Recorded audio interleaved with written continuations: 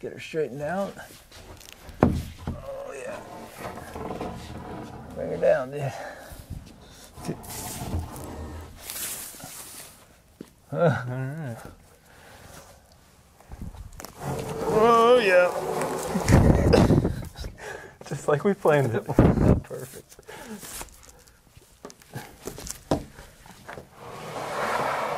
So I guess we have to determine our, Best our book match, I guess. our top and our bottom, right? Oh, I can't wait to unwrap this.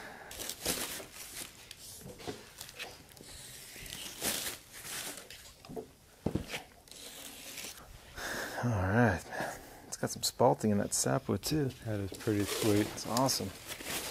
All right, so we just spent some time here kind of organizing these slabs, figuring out how we want to lay them out. Ultimately, we decided that we were going to put the live edge out. Uh, there was some talk of straight lining the edges, but I think we made the right decision, and you're going to find out when you see this finished product how awesome the live edges on this table look.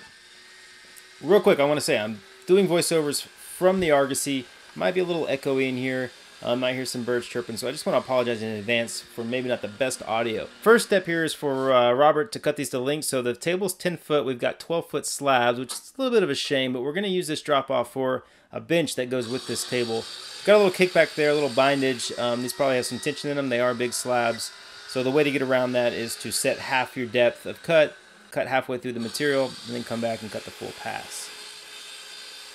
I want to mention that these came from Birdall Sawmill. Some really awesome slabs. I mean, uh, this is some of the nicest pecan I've seen. It's got curly figure to it. Really unique, super interesting stuff. Can't wait for you guys to see it finished. And I wanted to give a shout out to Birdall because they provide a, a really good product. This video is mostly going to focus on the um, top, on gluing this tabletop up. So we're going to start right here on the jointer. Now Robert's already straight lined the edge off that we want to glue. Did that with the track saw. We've also pre-filled these, so we spent probably two to three days pouring epoxy in cracks and voids and getting it all epoxied up. And that's the only epoxy work we'll do on this. I didn't really show that because, you know, epoxy is not that exciting. So we can use the jointer to get a really good straight line. It's got a 100, 100 inch bed, so it's going to give us a pretty straight edge.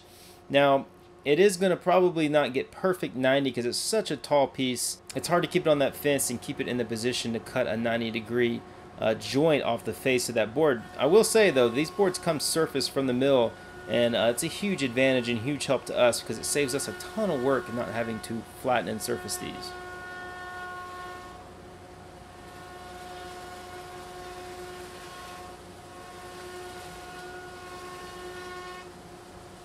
Also have to add that it was a pretty good idea for Oliver to put a foot stop in this jointer. I just love that feature. Pretty dang cool.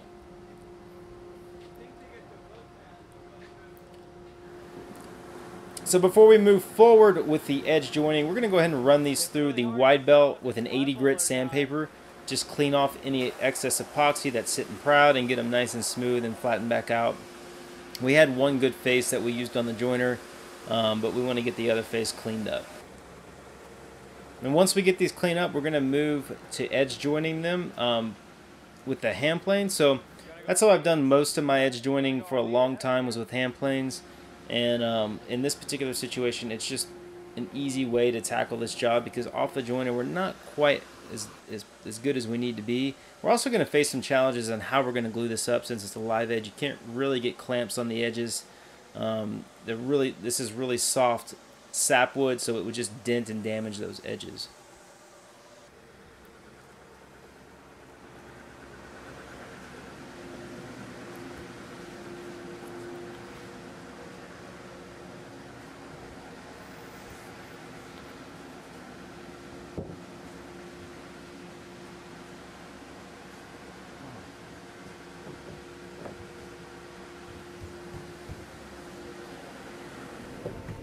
Some curly, curly pecan, book matched, spalted, sapwood. You got everything you could possibly want in this slab. You got a little bit. Weighs a ton. It's pretty heavy. It's not terrible. It's not terrible, yeah. So you said a router? I was thinking about using a router to straight line it, but I don't know if I have a 10 foot straight edge that'll is accurate enough. We'll try with the hand plane. Cool. it's gonna be it's gonna be a challenge. But tear out doesn't really matter. So So, like I said, I used to glue up all my tabletops like this, and I really do feel like the best way to master, not master, but um, begin to better use your hand planes is to edge joint. You learn a lot about your plane this way.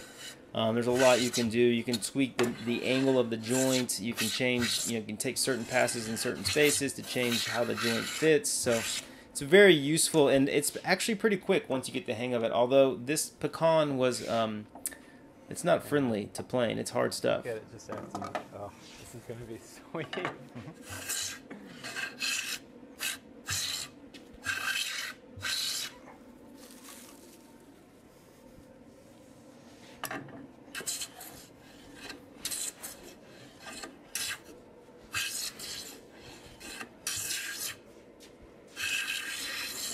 feel sharp enough? it feels good, man. Yes. Good job. I tried to do less than I normally do. By like I, I think sometimes I hang out too long and then start to maybe rock it too Yeah. much, you know? That's at number eight. yep. That's a bit difficult to push, isn't it? It's actually a little bit easier because it's got more mass to it. Looks like it's going pretty good.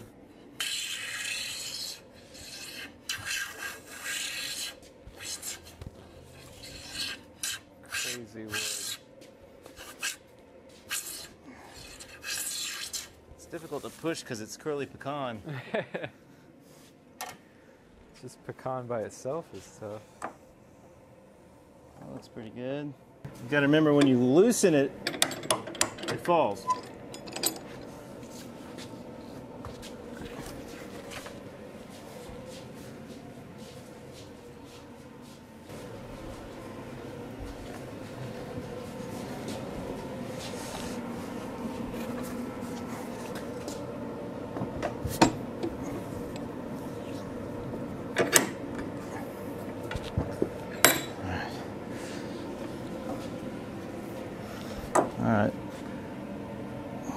Tackle this one. All right.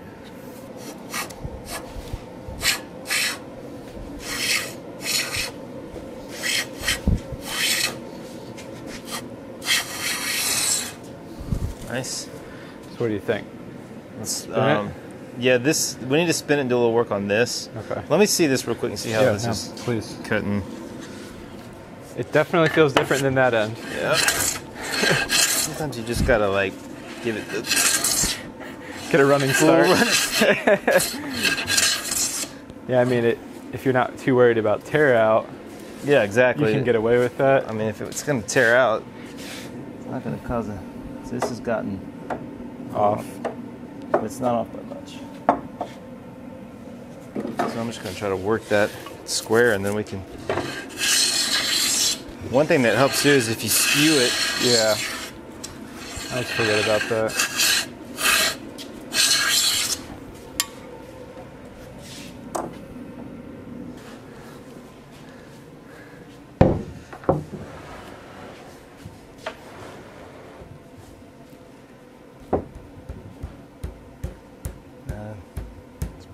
Darn good.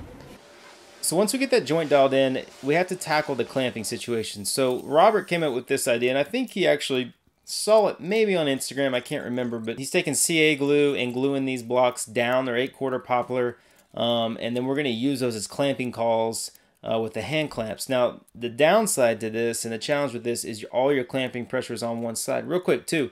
We have dominoes in this. It's really important that you get some kind of domino or biscuits in these to help level the joint. It's not going to add any strength, but it's going to help keep the joint level and make your glue up go way better. So we start getting these clamps on, and, and all the pressure's on one side of the table. It's going to naturally want to make it bow, and you're going to see right here as I put the straight edge on it that um, it's got a pretty significant bow in it. So we need to get some pressure underneath from clamps as well to kind of equalize it and um, kind of take that bow out of the tabletop. It's pretty bad. Okay, well, The gap looks nice. gap looks good. Lack of gap looks nice. So we just have to. But a little bit bow there. We just need more under Yeah. clamping pressure. And so that's what we're doing here. We're, we're giving another test run with the clamps below. it. Still not quite there, so I took it out and kind of gauged the the edge, and it was just slightly off. So we were able to use the hand plane to just kind of back cut that um, edge a little bit and help it kind of flatten out that top.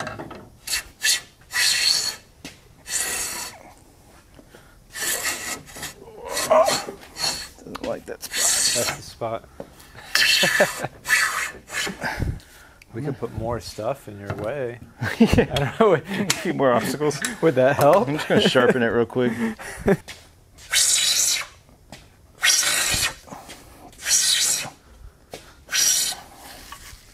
Doesn't want to cut too much in there. No, that's where the grain starts running out the opposite way. So while we glue this up, I want to take a quick moment to thank my friends over at SimpliSafe, amazing supporters of this channel. They are sponsoring this video. Now, US News, PC Magazine, and Popular Science have all ranked SimpliSafe as the best home security system for 2021, and US News just named SimpliSafe the best security system for 2022. And that is why I have a system both in my house and in my shop. Basically, you get this really cool home-based system that connects Simply to a keypad on. and every Home. component you add to the system goes through this keypad and connects to the home base. So you can get motion sensors, you can get entry sensors, you can get glass break sensors, smoke and carbon monoxide sensors, HD cameras. It covers everything you could possibly need to secure your home. But in my experience, it doesn't only secure my home, it also helps in my shop. Now that I'm running the CNC a lot, I have an HD camera from from SimpliSafe hooked up on the CNC, and I can access that camera and watch the CNC while I'm not in the shop from my SimpliSafe app.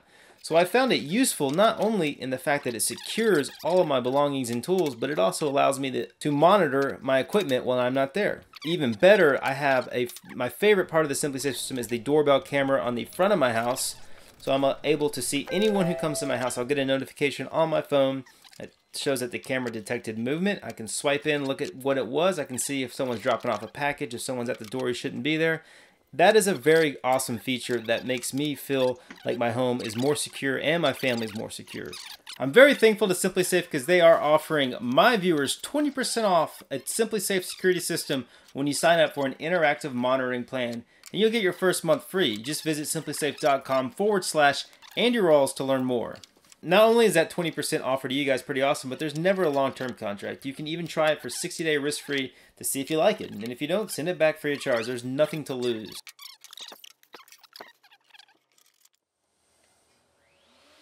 Okay, back with you guys. Always thankful to uh, my sponsors for helping support all the work that goes in to making this channel happen. We're going to shift gears now to the joinery. Now, I'm not covering in detail this joinery, but basically you've got the this is a trestle table, so you've got two uprights, um, and that's what I'm working on right now. I'm cutting tenons in one of those up- uprights, and it has a double tenon on it. So these are about an inch, oh, I don't know, these are probably two inches long, um, half inch tenons and you've got two in each one. That's why we call it a double, obviously. And so, in all, you'll end up having eight mortise and tenon joints just holding together the, the foot, the table support, and the two uprights. So there's a lot of glue surface in this joinery, and it's just super solid. This is the Leigh FMT mortising jig that I use for a lot of my joinery, and it is solid, man. It'll take these, um, it'll cut these tenons in one pass just like this, and you can dial in the fit just right. It also cuts the mortises. I've used this little jig for a long time, and it's coming. It's it's been pretty handy. It has given me some issues along the way, um, but for the most part, it's working pretty good. Also, I got a new Makita plunge router. It's amazing. I love the new router. It has a soft stop on it that's just uh, like a brake that just shuts it off when you turn off, which is a really cool feature. I'm Robert and I are both really enjoying it. Here you can see Robert set up a jig. While I'm working on this joinery, he is cutting out tapers on the feet and supports. And you can see the mortises here. That's where those tenons are going to go. Um, he's going to cut them out on the bandsaw and then just do one single pass on the jointer to clean up those bandsaw marks. And then off to the sander to sand uh, with the orbital.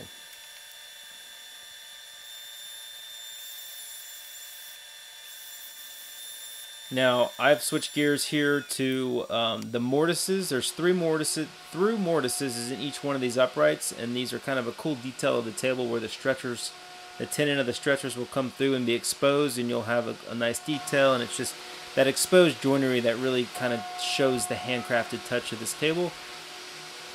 The This Leigh FMT mortising jig can do the through mortises no problem. You just cut in on one side, reference a stop, and then flip it over and do the other side. Just make sure that when you flip it, you're putting the same face against the jig. Uh, if you switch them and you're a little bit off center, you'll get in trouble there and they won't line up.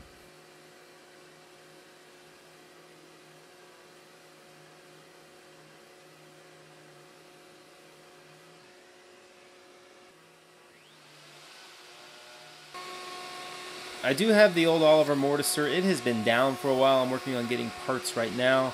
Hopefully we can get it back up and running. So that's one of the reasons why we're using this setup.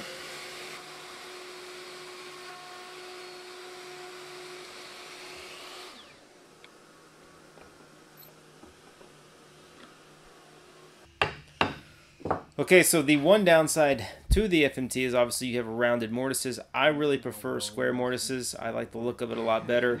Um, you got to go back with a chisel and square these up. So Robert and I just tackle this together. Um, and just I've got a cool corner chisel here that I, my dad actually got this. It's from Lie-Nielsen. and man, it, it works really really well uh, at cornering up mortises and taking off that rounded edge. I w that the mortising one was really nice Yeah. until I like kind of chipped up the end of it.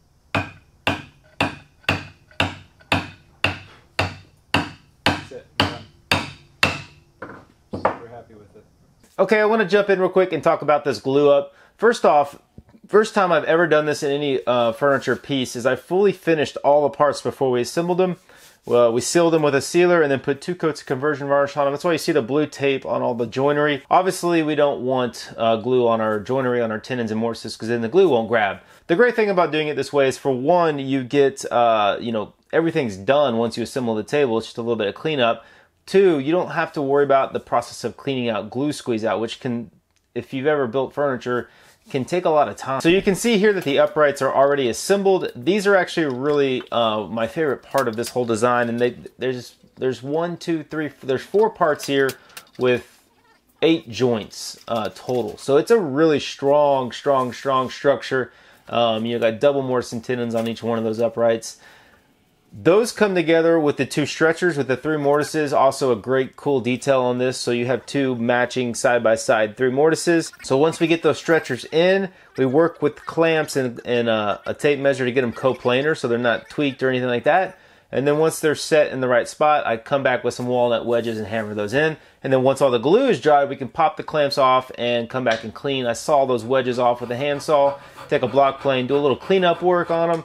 Uh, chamfer the edges. I like to put a nice little chamfer all the way around. And when I do that, I'll tape it off with blue tape just to prevent burnishing the wood by hitting it. And also, I like to come back and kind of polish it um, with like a Scotch-Brite pad. And you know, I don't want to hit the finish and, and mar that or mark that and take the sheen off. So the blue tape's there just to protect the finished part. Once we have all that done, the table base is done and ready. Let's rewind backwards now to the tabletop, which we've worked quite a bit on, and get it through the sander and get it prepped for finish.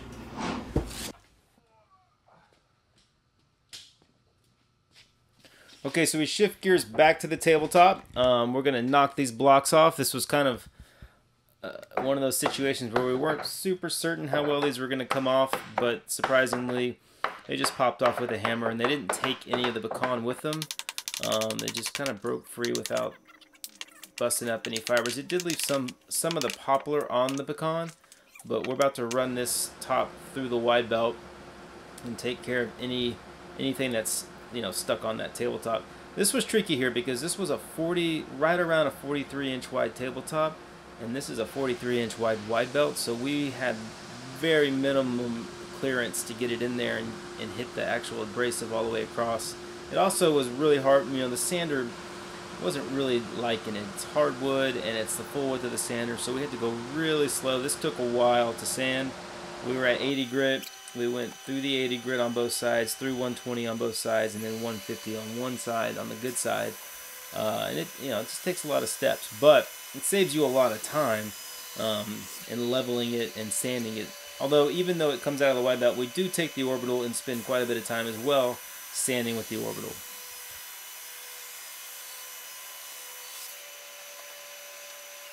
I want to share with you the finish process on this table. So the tabletop was actually somewhat challenging to finish um, because the we left the live edge and that sapwood had what what we call spalting on it. So it's kind of this process of decay that the tree goes through um, once it's dead, and it happens in pecan in the in the sapwood, and it actually leaves really cool colors, figure, and grain in the sap, but it also softens the wood, and it almost gets to the point where it becomes too soft, and you can just flake the wood out.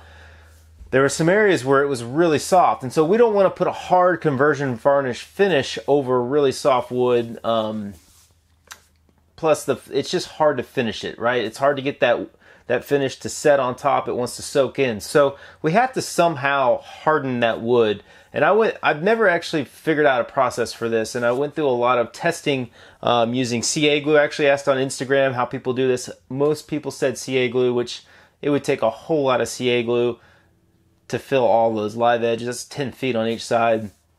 Plus, everything I use, a lot of people use penetrating epoxy too, which is what I ended up using but if you just put penetrating epoxy on the raw sapwood, it gets really dark. It turns it like a gray almost and just muddles all the cool color in it and takes out that light colored sap. So I, I just did not like the way that works. So what I ended up doing is putting, I sprayed an entire seal coat of D-Wax shellac um, over the top, the whole top. And then I came back and put two more coats just focused in on the sapwood of that shellac so I sealed it off the best I could. Um, this will help. It'll help the the epoxy not penetrate quite as much, um, but still allows that epoxy to get in and harden. So once that seal coat was dry, sanded it back. I brushed on the penetrating epoxy just on the soft sapwood and along the bark edge.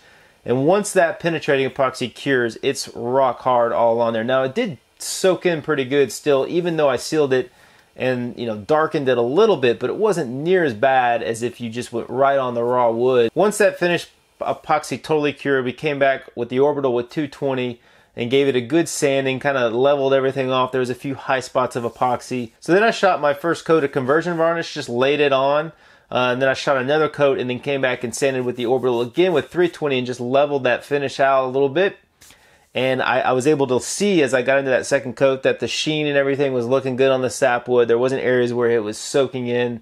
It was a nice even sheen across the whole top. So once we got into the third coat, I let Robert jump in and spray. I've been trying to teach him some of the process of spray finishes, and I'll be honest, even though I'm teaching him, I'm still learning a lot. And on this particular table, uh, you know, I faced a lot of challenges with air bubbles in the conversion varnish. I've never shot conversion varnish and I've never worried about film thickness. So film thickness, or I should say wet film thickness, is the amount of finish that sits on the tabletop. And I had way too wet of a film thickness, and it was causing bubbles to get trapped in this in the in the finish. I think I was shooting at six to seven mil. That's way too heavy. This this particular product calls for about two to three millimeter, two to three mil thickness, wet thickness. So once I dialed in my gun to lay down a nice good pattern, I kind of practiced and figured out the speed of my movement, how much fluid I needed coming out. Um, I really learned a lot in that, and the finish was just coming out beautiful after that. Nice, even sheen, super smooth finish. Um, so it was fun. I got a chance to learn a little bit more about finishing, and um, we laid down a really nice last coat. I actually did the last coat at night with a light so I could see my wet where the wet wetness was. I didn't get a shot of that unfortunately, but the last coat laid down beautifully. And uh, yeah, that's a lot of talking about the finish, but I wanted to share it with you guys because um, you know it's a cool experience for me. I learned a little bit about spraying conversion varnish. Is a new finish that I'm working on and, and using, and uh, so far it's working really nice. Okay, so to end this project, we took it to a really cool property here in Boerne.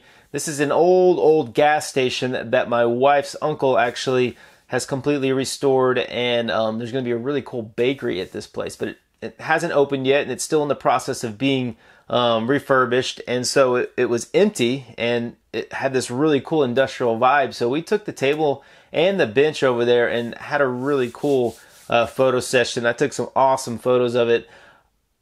I didn't show any of the bench in this, and the bench is just as amazing as the top. And I haven't decided if I'm going to do a separate build video on the bench. If you guys want to see that, uh, let me know because I can make that happen if you're interested in seeing how I made this bench. I'm going to leave you guys with some of the shots that we took so you can see what it looks like. I just want to thank you for tuning in. I want to say in a world on YouTube full of live edge, um, some of it's good, some of it's garbage. I just hope that I did it justice. Um, you know, I, I can take credit for the craftsmanship of the base to the best of my ability, and I think we did an amazing job of displaying uh, God's handiwork. God is the master craftsman, and that tree and those slabs are something I can't take credit for. It's beautiful timber, beautiful lumber, and I'm thankful for the opportunity uh, to get to work with it, to get to um, to get to create a piece of furniture out of something that is far more perfect than I could ever make. So that's where I want to leave it.